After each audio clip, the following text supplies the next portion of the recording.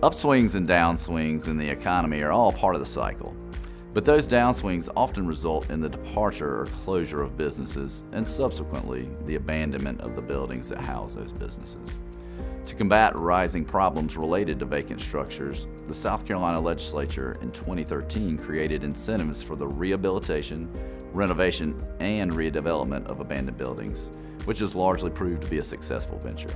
But those incentives are at risk of going away absent legislative action in the upcoming session to extend the sunset of the statute authorizing the credit. In practically every corner of the state, one can find communities dealing with the effects of abandoned buildings. Vacant properties carry a significant cost to the taxpayers of these cities and counties.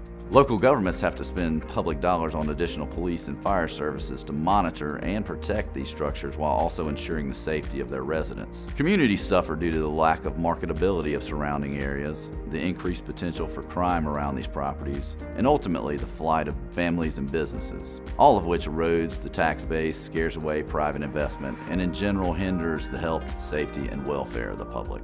The tax credit is funded by the legislature in its annual Appropriations Act and a five-year sunset clause was added to the enabling legislation as a way to ensure the fiscal accountability and effectiveness of the incentive program. Since its implementation, the credits available for qualified projects have been widely and frequently utilized, thus improving the economic landscape in scores of communities around the state.